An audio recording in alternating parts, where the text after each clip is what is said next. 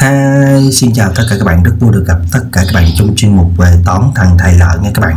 Thì hôm nay mình nói về chứng minh rằng A trừ 5B chia hết cho 17 Khi và chỉ khi ý nói là nó có hai chiều đó các bạn. Chứng minh hàng trước suy ra hàng sau. Và chứng minh hàng sau suy ra hàng hàng trước đó. À, 10A cộng B chia hết cho 10 17 vậy bây giờ mình sẽ chứng minh à A trừ 5 B chia hết cho 17 thì suy ra được là 10A cộng B chia hết cho 17 chứng minh điều này trước được chưa? Trường hợp 1 đó, chứng minh trường hợp 1 rồi thì ta để chứng minh điều này thì các bạn cần nhớ kiến thức. Ví dụ như A chia hết cho B thì suy ra ta nhân cho A bất kỳ một số nào thì cũng chia hết cho cho B, vậy là C. K nhân A cũng chia hết cho cho B. Kiến thức thứ hai đó là A cộng hay là trừ B chia hết cho C. Mà một trong hai thằng chia hết thì cái thằng còn lại cũng chia hết.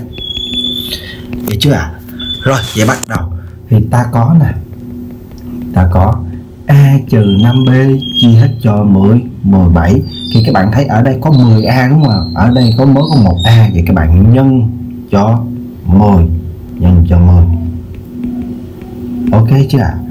Sau đó các bạn phân phối vào, phân phối vào. Vậy ra 10A trừ cho 50B chấm hai chấm. Sau đó các bạn hãy tách làm sao ra 10A cộng B. Để suy ra, đây có 10A rồi nè cộng thêm B. Cộng thêm B thì các bạn phải trừ đi B và trừ lại 50B cho người ta. Được chưa ạ? Cộng B nè, thì các bạn phải trừ đi B để quầy vốn và trừ 50B viết lại. Chia hết cho 17 được chưa ạ? Suy ra, đây, các bạn gộp hàng này với hàng này lại. 10A cộng B, đóng một cái ngoặc. Đây ra bao nhiêu ạ? À? ra trừ 51 B chia hết cho 10 17 rồi, đây, mà mà gì à?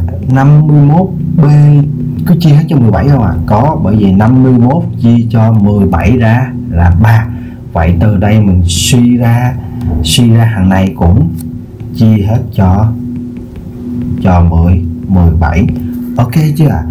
tương tự trường hợp ngược lại, trường hợp ngược lại nha các bạn. Trường hợp 2 trường hợp 2 đó là 10 A cộng B chia hết cho 17 thì suy ra A trừ 5B cũng chia hết cho 10 17 thì ta có nè, ta có ta có 10A cộng B chia hết cho 17 thì các bạn nhân ở đây có xuất hiện gì à số 5 trừ 5 thì ta nhân cho trừ trừ 5 10A cộng B chia hết cho 10 17 tới đây các bạn phân phối phân phối vào và tách làm sao ra ra làm sao cho A trừ 5 và các bạn biện luận tương tự như trường hợp 1 được chưa ạ? À? tới đây các bạn hãy biện luận và chứng minh trường hợp còn lại nha các bạn. Rồi, thôi, xin chào và hẹn gặp lại tất cả các bạn trong quá trình hướng dẫn. Có chỗ nào bị sai có chỗ nào bị thiếu, các bạn cố gắng comment giúp lợi